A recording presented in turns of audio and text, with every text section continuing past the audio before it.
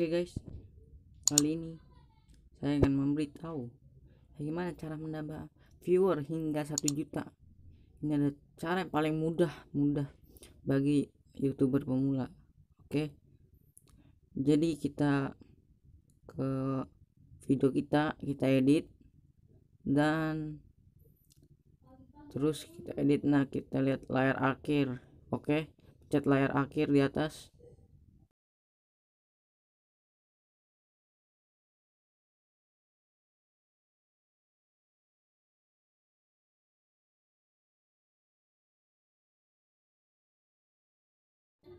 kita pencet edit di video apa pun.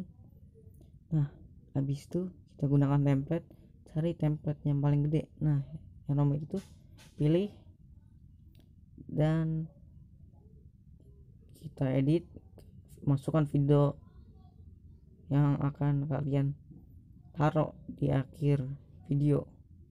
Misalnya ini ini dan gerakan itu ikutin aja perkataan saya. Oke. Dan oke. Kita simpan. Disimpan dah sudah selesai. Langsung saja kita lihat video yang tadi oke.